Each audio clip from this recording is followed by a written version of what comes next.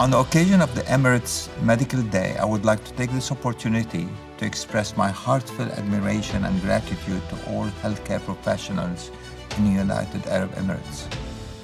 Your unwavering commitment to serving the community has a profound impact in improving the health and well-being of its citizens and residents. Our dedicated team of 3,400 healthcare professionals at SSMC are driven by their passion and commitment to placing patients' needs first and delivering on excellence in a holistic and personalized way to each and every one of our patients.